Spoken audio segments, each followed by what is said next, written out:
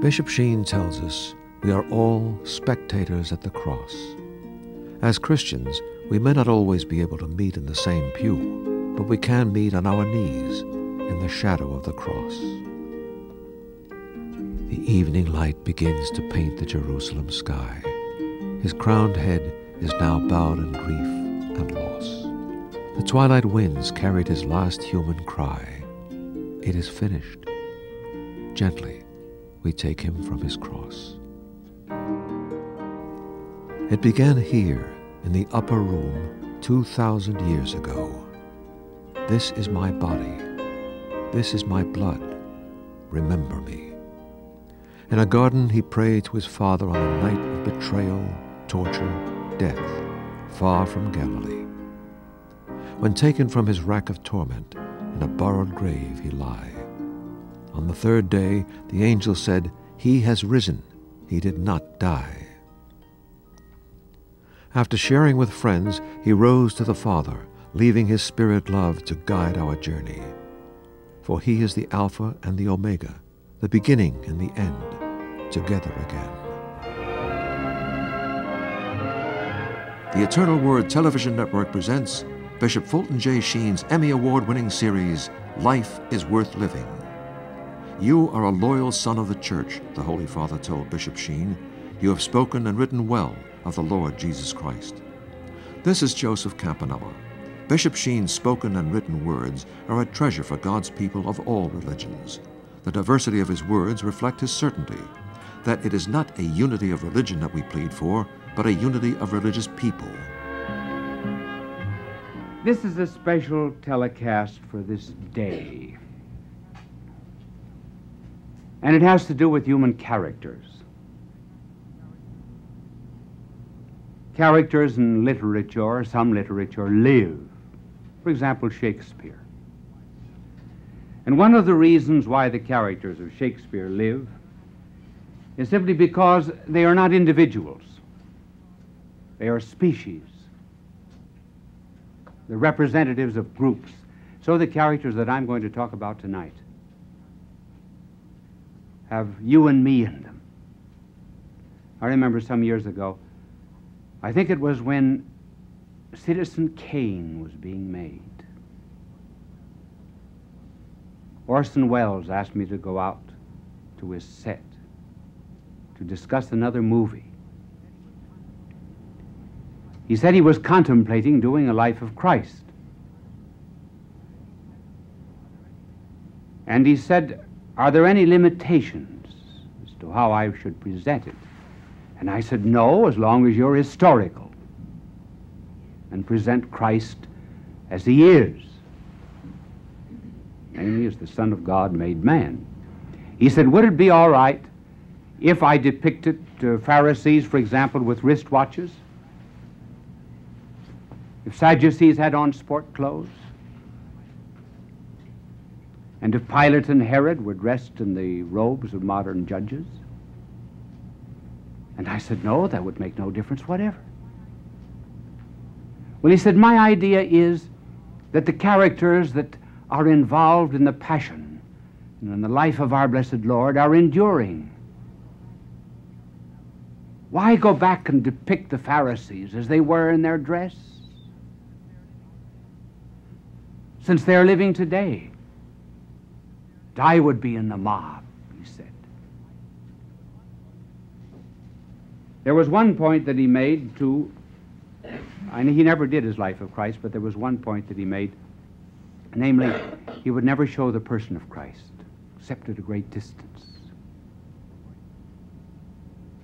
His voice would be heard,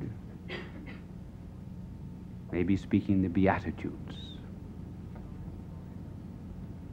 And so this story, therefore, is an eternal story and it is one sometimes that is very helpful in a crisis. When I think of a crisis, I think of the bombing of Coventry Cathedral in, in England. Someone went into that cathedral once and saw all of the, the ruins, the rubble, and the rubbish. Here were the broken pillars and arches Nothing looks sadder than a broken cathedral. And yet there was only one thing in it that was standing whole. Only one. And that was a great crucifix. It Seemed almost suspended without being suspended. And over it were written the words, Father, forgive them, for they know not what they do. And since we live in a crisis, we will now describe it. We'll describe it in terms of human hearts. You've often heard psychologists say there is not much difference between a normal and abnormal person. Why is it they say that? It is because they have no standard. That's just like saying, well, there's no difference between the keys of a piano. There is a difference if you have a musical standard. If you have a piece of music outside of the keys, then you'll know which is the right key and which is the wrong. And so there happens to be an eternal standard by which human hearts may be judged. And that standard is the cross. And all of us fit into it some way, somehow, and none too hopelessly either. Here are the three kinds of hearts and the three possible kinds of attitudes that one can take toward law, uh, life, because these are the attitudes that were taken to the cross. Now, we've, these words have a, have a, a Greek origin and background, but they are useful because it's easy to keep them in mind once they're mentioned. One attitude of the people who stood around the cross and were involved in it was that of apathy. Another was antipathy.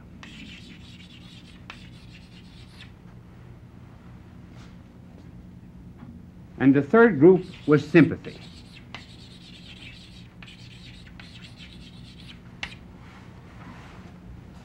There was one group of hearts that was totally indifferent to what was going on. They were the apathetic group. There was another group that was hateful.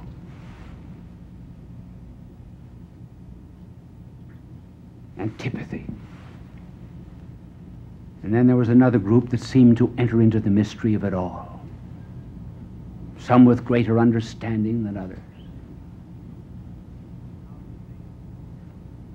Now it remains to discover where each and every one of us fits into this catalog. And we'll begin first with apathy and describe some of the characters that were totally indifferent. And the first one with which we will begin is the character of Pilate. Pilate was in the background of the cross, but he was the one that sentenced our blessed Lord to the cross. Pilate uh, was a university man. A university man who had studied maybe pragmatism. He certainly must have studied it. He might never have had a, a James or a Schiller or a Dewey to have taught him. But at any rate, for him, there was no such thing as truth. There's only the useful. He was the politician. He was interested in keeping up imperialism not concerned with whether a thing was right or wrong, but whether or not it was politically the expedient thing to do. And so when this prisoner is led before him, he asks him his, his background. And our Lord said to him, I am come to give testimony of the truth. And they who are of the truth heareth my voice. And Pilate, summing up all of his university education in pragmatism, shrugged his shoulders and said, What is truth? What is it? Can we know it? And turned his back on it. It's very interesting that those who deny such a thing as absolute truth or right or wrong are those who sometimes will end in persecuting others. Pilate did. That's why we say he was crucified under Pontius Pilate. He used every trick that a clever lawyer knew change of venue, appeal to the mob, punishment. and then even called for a bowl of water. dipped his hands into that water and then lifted them up as the water fell from them like jewels in that morning sunlight. He said, See, see. I am innocent. I am innocent of the blood of this man.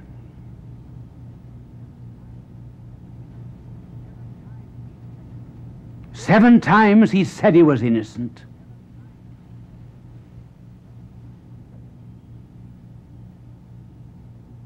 But he ended in crucifying him. That's one type of heart the indifferent heart that denies truth. Then there's another apathetic heart. It's the sensualist, man who's lived for pleasures of his body, for, and who thinks of nothing else but the things of the flesh. This was Herod. Herod was a great public figure. He had done as much building as any one of the governors who ever worked in the Roman provinces. Rather a clever man. Our Lord once called him the fox. He was a Sadducee. He did not believe in immortality of the soul. And yet, after he, he beheaded John the Baptist at the suggestion of a second wife, and then saw our Lord, he thought that our Lord was John the Baptist risen from the dead. And when our blessed Lord is led before Herod, that was a quick, I mean, a cheap trick of Pilate's. Because Pilate, when he heard that our Lord had begun teaching in Galilee, said, Well, I will send him to Herod because Herod has charge of the Galileans. And Herod was glad glad to see him. And why? Because he hoped that he might work a miracle. Why is it that the sensual soul thinks of religion only in terms of the spectacular? It's very likely that he might have brought in who knows, maybe some water pots, having heard of the miracle of Cana. And ask that they be changed into wine.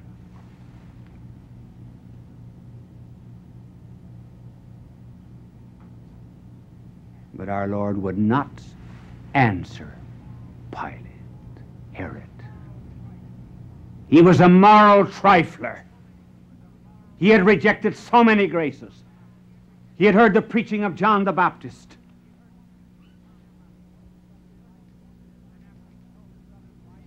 And then, after he stole his brother's wife and entered into marriage with that woman, at his birthday party, he beheaded John the Baptist.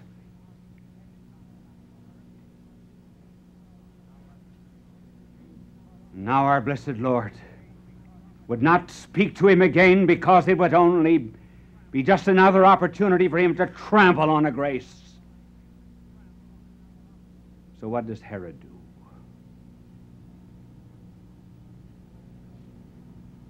He robes our Lord in a white garment,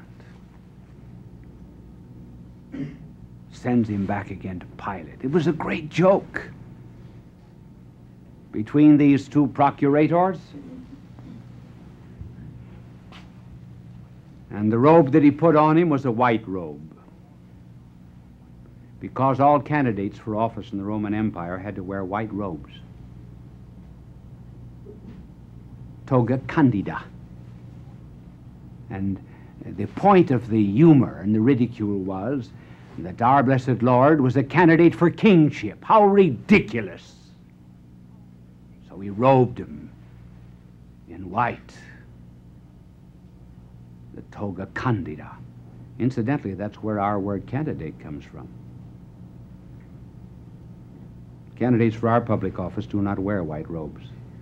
Too much mudslinging. But in any case, that was the way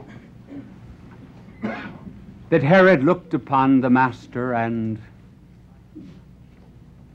his life, as you know, ended very miserably. But there were more that were apathetic.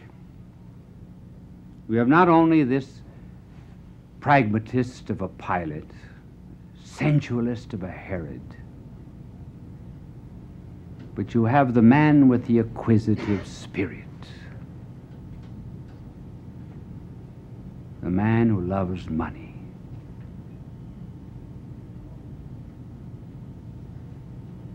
And that was Judas.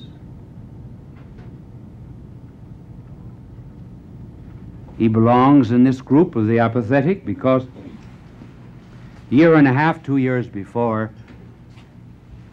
this particular day, and our blessed Lord has announced that most spiritual and beautiful of all the sacraments, the Eucharist. If you look in the sixth chapter of St. John, you will find that that is where the betrayal of Judas is first noticed.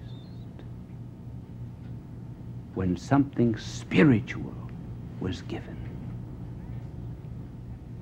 The man who is excessively fond of money for some reason or other begins to develop a heart like money, or like gold. Cold and yellow.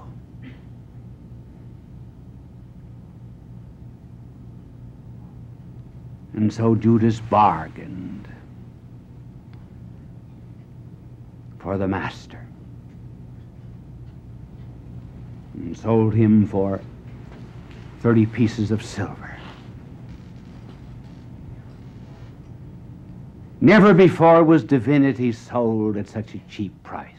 As anybody who sells it, sells it cheaply.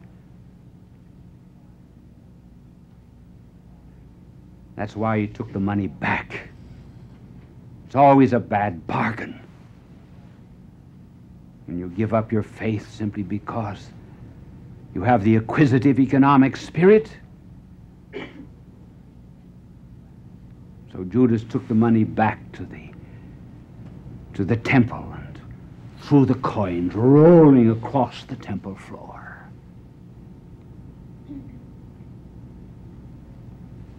He admitted he had done wrong. I betrayed innocent blood.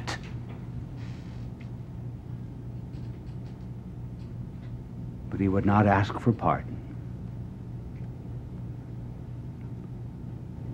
You see, some sins end in despair. There's a creative despair. Peter's sinned Our Lord even called Peter a devil. Peter denied our Lord too. Almost sold him, sold him to three women in a courtyard, said that I know not the man. But his despair was not that despair which is godless, it was creative. And so when our Lord turned and looked on Peter, Peter wept. Wept so much that tradition has it that he had furrows in his cheeks from his tears.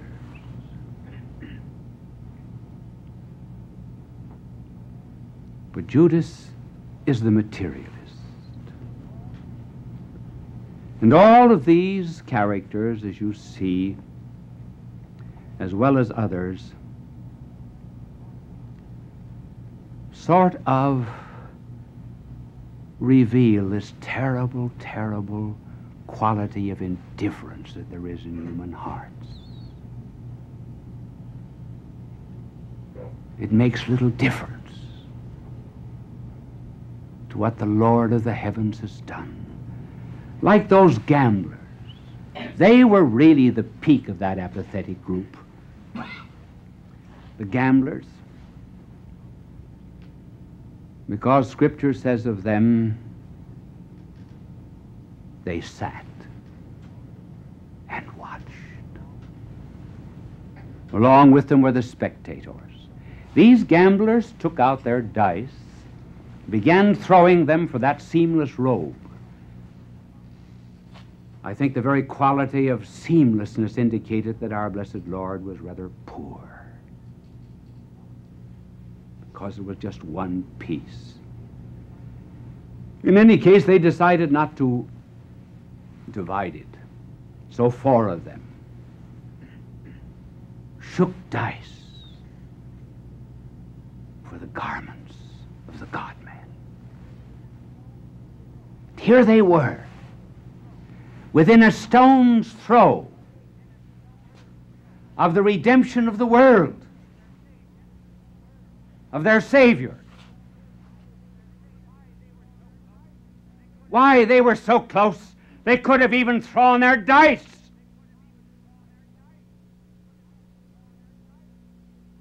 And yet, they gambled away the time and the grace.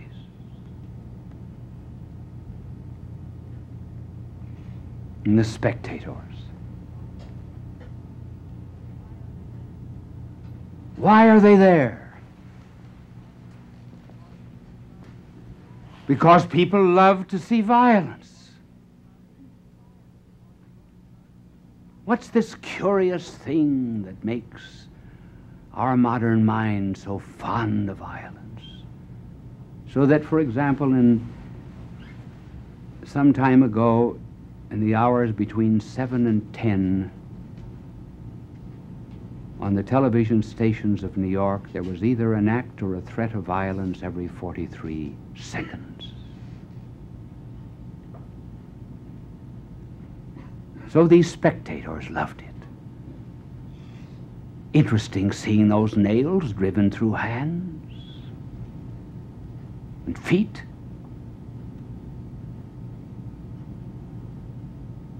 And the body thirsting on the cross. indifferent as to its meaning, but something about pain that gave pleasure to them.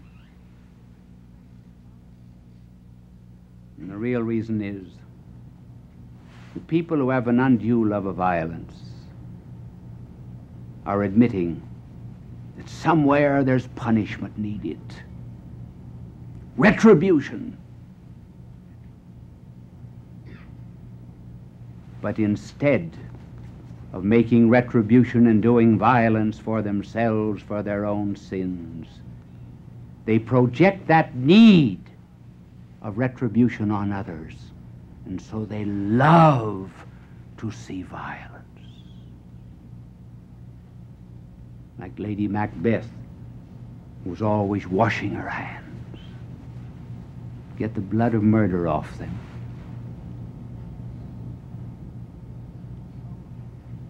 It was her soul that needed washing, not her hands. And so it's the violence to oneself and not the violence to others that the indifferent need. Since they will not see this tremendous reparation on the cross, then they take pleasure in that violence. Reminds one of one of John Galsworthy's shows. I think it was called The Show, yes.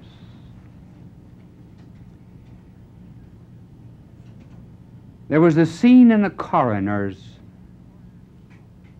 at a coroner's inquest in a morgue.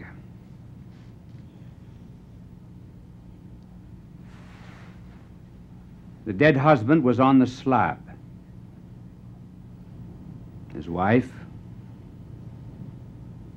who was suspected of some kind of violence in killing her husband, was on the witness stand.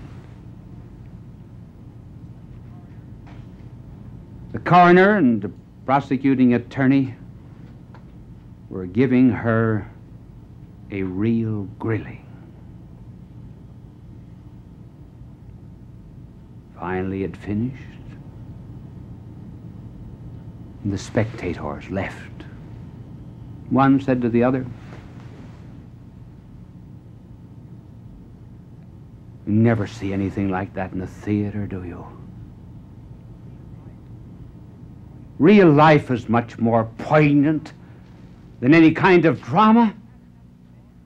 Wasn't that an absorbing story? My, that was interesting.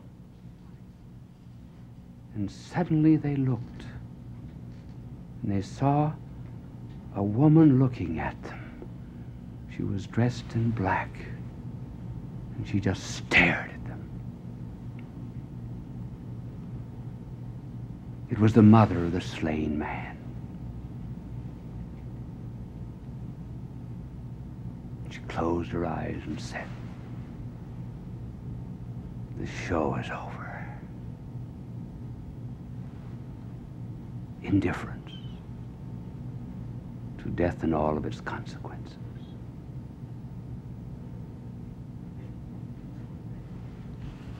There was a, an Episcopalian minister in World War I by the name of George Studdert Kennedy who wrote a poem once about the apathetic and the indifferent. Maybe I can remember it. It was the story of story of Good Friday, Christ going to the cross, in contrast to our blessed Lord going to the city of Birmingham in England any one of these days. When Jesus came to Golgotha, they nailed him on a tree. They crowned him with a crown of thorns. Red were his wounds, and deep. For those were crude and cruel days, and human flesh was cheap. When Jesus came to Birmingham, they only passed him by. They would not hurt a hair of him. They only let him die. For men had grown more tender. They would not give him pain. They only just passed down the street and left him in the rain. So it rained. The winter rain that drenched him through and through. And when all the crowds had left the streets without a soul to see, then Jesus crouched against a wall and sighed for Calvary. In other words, the crucifixion could be more readily endured than this indifference. And God said of the indifference, Thou art neither hot nor cold, therefore will I vomit thee from my mouth.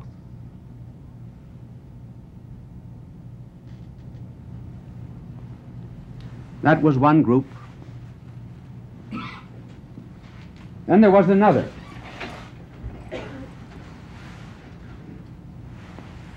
The group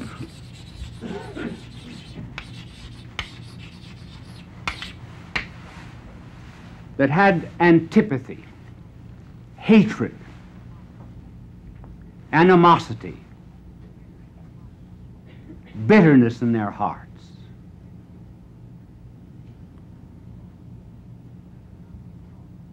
And let it not be thought that they must necessarily be irreligious men.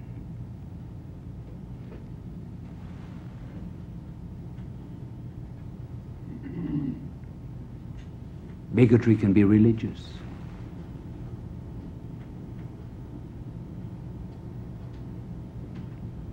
Religion today is rather comfortable. Nice signs on lawns, leave the world better than you find it, keep smiling, heads up.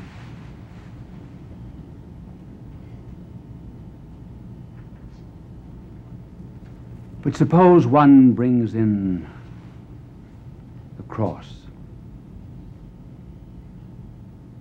the divinity of Christ. How is that meant? That makes the difference.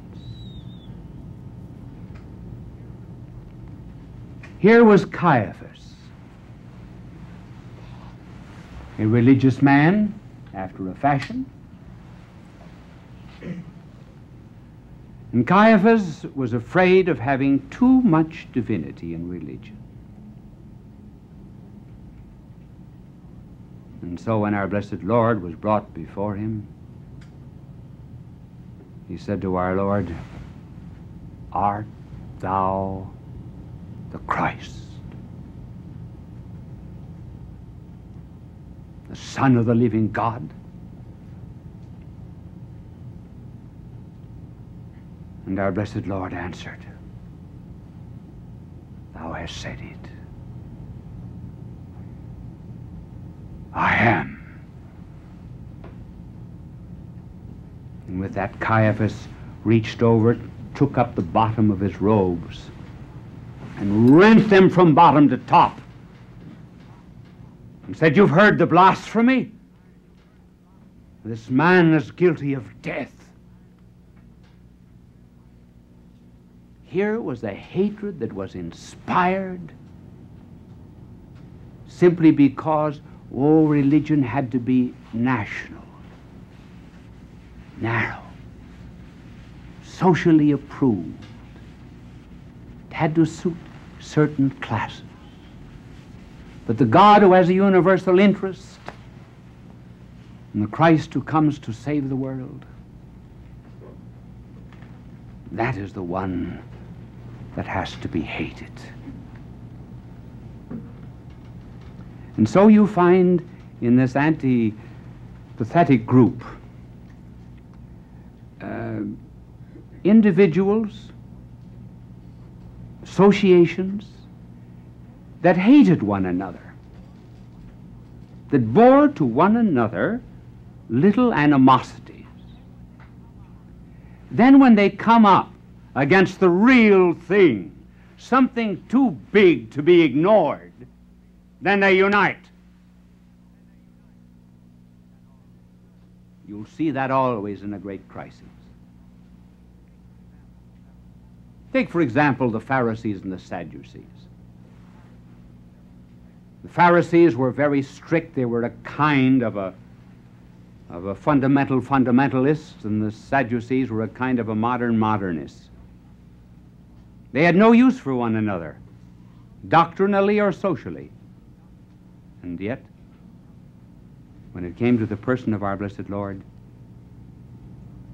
then they united and they walked together. Pilate and Herod, they had not spoken for years, and they became friends over the bleeding and torn body of Christ.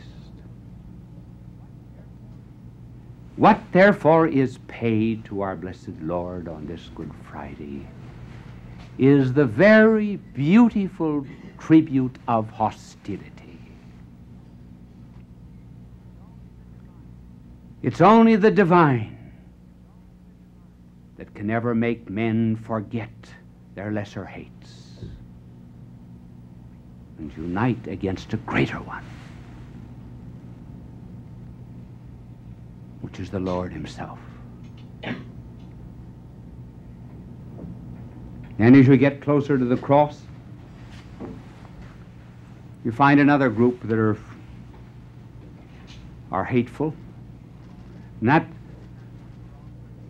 in that group belongs the thief on the left. Here there were two thieves crucified on either side of our blessed Lord.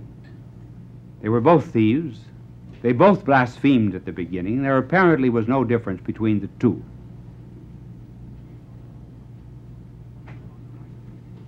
Thief on the right changes his heart. And the thief on the left, well, he becomes the exemplar of all of those who think that the only person of religion, purpose of religion, is to get you out of pain. Religion is an insurance policy. Why should I suffer this? What did I do? And so when things go wrong, they begin to blame God. And the thief on the, on the left shouted to our blessed Lord on the central cross,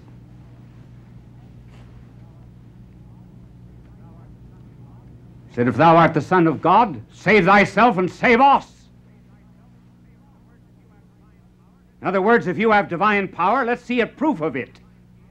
You know what proof you can give. Unhang these nails. Turn that crown of thorns into a scepter of flowers. Take that nail in your right hand. Make it a scepter of power. Turn that blood into royal purple. If you're divine, but above all, there's one proof you can give that will convince me, and I will believe you. Take me down from this cross. If you can do it, you're God. If you cannot, you are not. And why did he want to be taken down? To go on with the dirty business of stealing.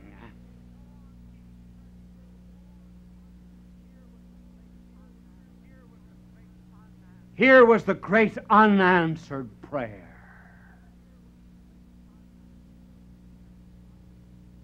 certainly not all prayers are answered.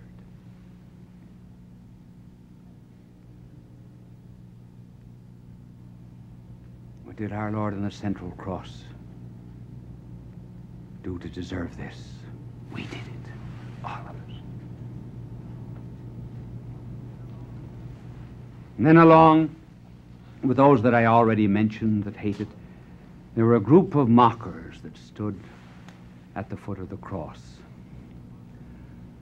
These mockers, for the most part, were, oh, kind of intelligentsia. Self wise. And they hurled a challenge at him like the thief on the left, and a taunt. And they said, Thou art the Son of God, come down from the cross. Others he saved, himself he cannot save. That was the proof they wanted to come down from the cross. In other words, Give us a religion without a cross. Give us one of these nice painted things. But we do not want anyone hanging on it. It accuses us.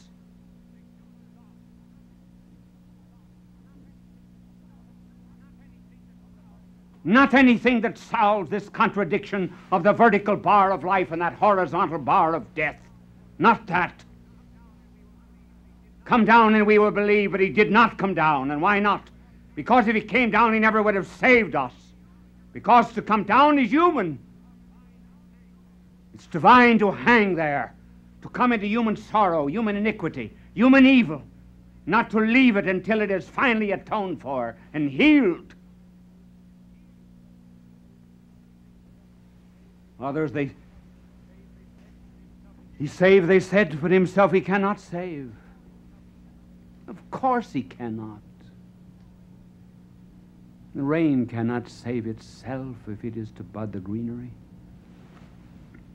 Mother cannot save herself if she is to save her child. Soldier cannot save himself if he is to save his country. This is not the law of the law of weakness. The law of sacrifice. Greater love than this no man hath. That he lay down his life for his friends.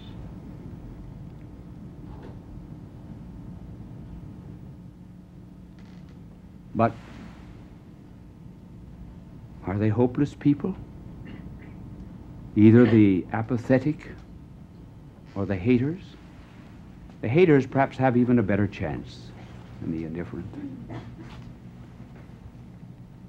Our blessed Lord said, Father, forgive them, for they know not what they do. When St. Peter converted thousands of them on Pentecost, he repeated that first word of our Lord on the cross You have done it ignorantly. So there must have been some of these people whom he just described. We are never to take hate very seriously. When people hate the divinity of religion, it's themselves they hate. I remember once, I shall not mention the city, hearing of a man who had lost his faith. He was dying in a hospital. His sister told me that he'd thrown out every priest that ever went in. She asked me to go to visit him. This man had not only lost his faith and tried to corrupt the faith, faith of others, and also morals particularly the morals of the young. He had a very wicked and evil reputation. Well, I knew that I could fare no better than anyone else, so first night I went down, I stayed for about five seconds. I went down to see him 40 nights straight. The second night, maybe I stayed 10 seconds. Third night, maybe 20. But I never, never brought up the question of his soul. I was biding my time because I was afraid that all of that hate would come out. It came the 40th night. I brought down the holy oils to give him the sacrament of extreme unction and also the Blessed Sacrament, which we believe is our Lord Himself.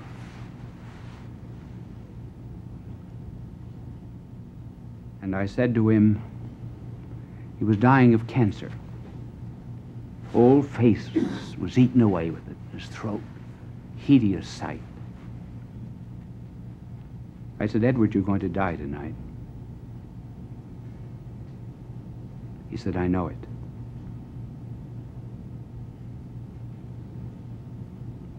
I said, Would you like to make your peace with God before you die? He said, No. Get out!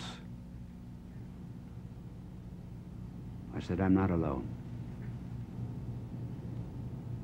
Who's with you? I thought I said I brought our blessed Lord with me in the Blessed Sacrament. You want him to get out? He didn't say anything. I knelt alongside of his bed for about 30 minutes. And I promised our blessed Lord that if he would make peace with him before he died, that I would build a chapel about $6,000, which I could ill afford, a $6,000 chapel in one of the mission lands. So when I got up, I said again, Edward, you want to make your peace with God, don't you? He said, No, get out. And I said, Do you want the Lord to get out too? He said, Yes. And he started screaming for the nurse. To stop his screaming, I quickly ran to the door. And he stopped screaming, and I took advantage of the moment of silence to dash back quickly, and I laid my head alongside of his cancerous head. And I said, Edward, before you die, please say, My Jesus, mercy, forgive me my sins. He said, I will not. Get out. And screamed for the nurse. I told the nurse I would come in any hour of the night he wanted. She called me about four o'clock in the morning and told me that he had just died. I said, How did he die?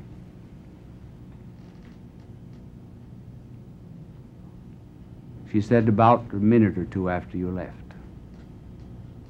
He began saying, My Jesus, mercy. Forgive me my sins. He kept saying it on and on until the moment of his death. But it cost something. It cost me 40 visits.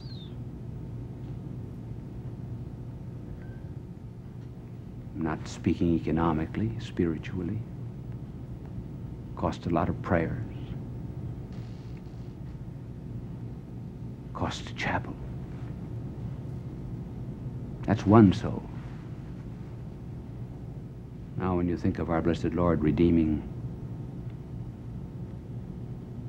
you and me and all the other souls in the world. You have some idea of how much it costs. So there's hope for the apathetic. There's hope for the haters. But then, beautifully, of course, there was the third group, and that's the group that has sympathy. Sometimes understanding, sometimes less understanding. One who was very sympathetic was the wife of Claudia Procula. I mean, the wife of Pontius Pilate, whose name was Claudia Procula. I think, though we know only a few lines about her in the scriptures, she's really one of the charming women. You never find in this crisis of our Lord a single woman failing. Women failed. Men failed, but women never failed. It was Pilate's wife who, who broke the rigors of Roman justice and went into the courtroom and said to her husband that she was troubled about that just man in a dream. She begged him not to sentence him to death.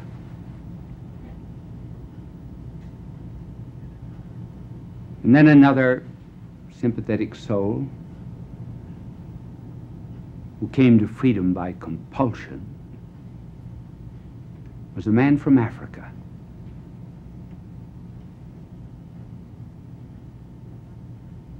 I find it very interesting that the first man who ever halved or shared the cross of Christ was an African. We do not know what kind of an African he was.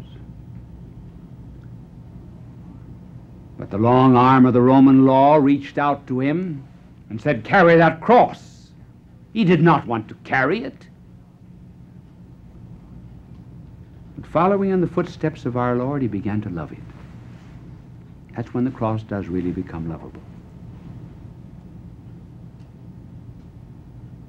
And he had two sons, Alexander and Rufinus who became bishops of the early church.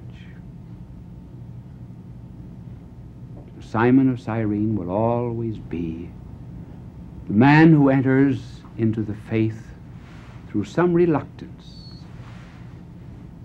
but finds it sweet. The imposed cross the Lord gives. Young couple, couple in middle age, man or woman entering into a career, trial to anyone. They're made other Simons. Love cannot kill pain. Love can make it bearable. Then there are the women. Women who comforted our Lord. And here we get misplaced sympathy. All of the good, fine, feminine qualities of these women came out. Namely, they wished to wipe away the blood and sweat and the tears of our blessed Lord as he went to Calvary. But our Lord turned to them and said, Weep not for me. Weep for yourselves.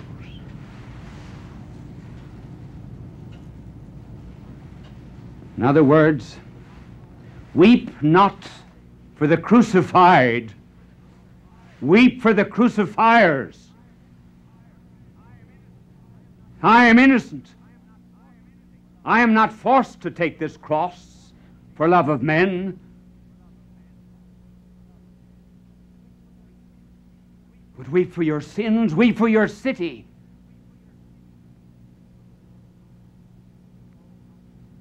Oh, how many false tears there are shed in the world, in theaters.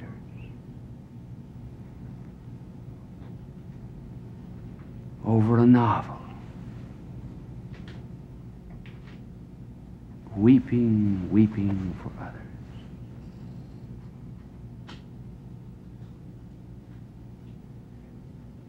And then another sympathetic soul was the thief on the right. One of the really beautiful characters that comes out of this great tragedy. As I said, he was just the same as the thief at the left at the very beginning. But hearing the words of our Lord on the cross, for example, Father, forgive them, there was some inflammable material already in his heart. And then he looked over to the thief on the left as much as he could. Heard him blaspheming, and he said,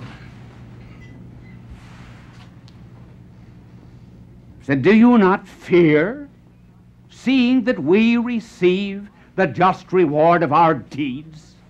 We were murderers and thieves. This is what we deserve. Sin has its punishment. That's something people fail to realize. The modern tendency to deny guilt. They love to call it by another name or deny it altogether. They never think of making up, making up for sin.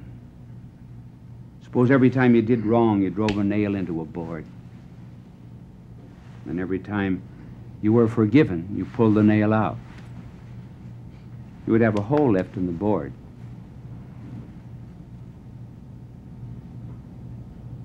But you've been forgiven. What's that hole there? How is it to be filled? It is to be filled by some penance, by reparation. I'm very interested, for example, in, among other things, of the poor of all the world, but in lepers. So I remember being in Africa at a leper colony in Bulaba not very long ago, and I was giving crosses to the lepers, and I saw a leper with, oh, a white, festered, awful looking hand, and I dropped the cross in it. And the moment I dropped the cross in it, I said to myself, oh, I'm the worst, the worst of all, the worst of all. Because here I fail to share the suffering with others. And then I, I reach down my hand and put it on the cross and put it on the hand of the suffering man. Oh, you think that's something. But it's nothing to Christ who reached out to take our hearts and our souls. May he forgive us all. Bye, and God love you.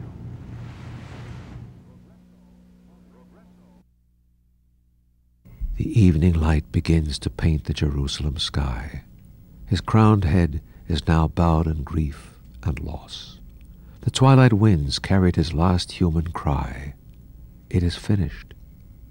Gently, we take him from his cross. Fulton J. Sheen is indeed a man for all seasons. He walked a paced beat, allowing us to glimpse his nature and ponder its worth and to enjoy its presence. Bishop Sheen authored over 90 books. He broadcast countless radio and television programs and ministered in many parts of the world to people of every belief. As he said many times, it is not a unity of religion we plead for, but a unity of religious people. We may not be able to meet in the same pew, but we can meet on our knees.